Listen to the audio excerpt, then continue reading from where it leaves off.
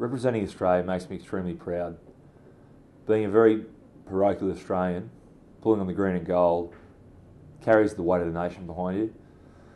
At the same time, you want to repay that faith and that support with great performances and wins. So, as my time in the green and gold draws to a close, I'm going to miss that. I'm going to miss that challenge. I'm going to miss running out in front of my crowd, looking around and seeing all the support, wearing gold and cheering loudly, loudly for the Wallabies.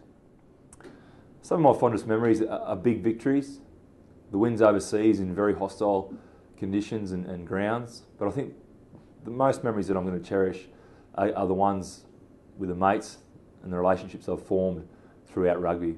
People in the game, people around the game, and, and the supporters around the game as well. All fantastic people, and uh, a lot of memories I've shared with them are going to be the ones that I cherish well into retirement. Uh, the highlight of my career individually, I think, was probably being the All Blacks in the in the 2003 World Cup semi-final.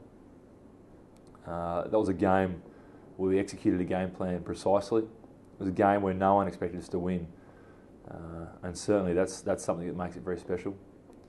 As a team, I think when we've had big victories overseas, we beat South Africa at altitude for the first time in, in a long, long time, 20 or 30 odd years at Bloemfontein. Uh, Kurtley Beale kicked the, the winning penalty goal on full time to win the game, and uh, it was a fantastic night and plenty of good memories to be had. Australian rugby's got some tremendous talent coming through. It's been great to work with these young guys over the last year or so. The potential, the attitude, and the character has really stood out to me, and it, it really personifies the Wallabies jersey, the way the guys dig in for each other.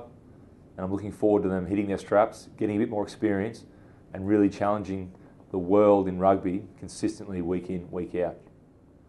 Last game on home soil, very exciting, very emotional. But I just want to say thank you to everyone who supported the green and gold in my time in the jersey. I've had a tremendous time. As I said before, I'm a very proud Australian, and every time I pull the jersey on, I think of you guys. So one more effort on, on home soil, and hopefully we can get the victory against the New Zealand team. See you out there.